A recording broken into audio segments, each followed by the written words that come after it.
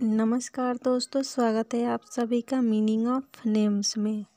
आज के इस वीडियो में हम जानेंगे अभिजन नाम के मतलब के बारे में।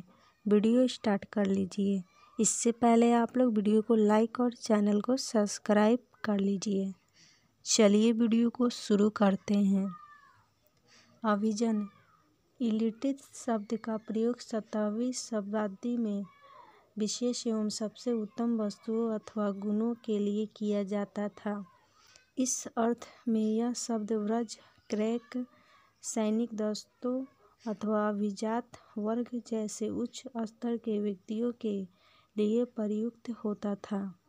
आज के वीडियो में इतना ही, मिलते हैं तब तक के लिए धन्यवाद।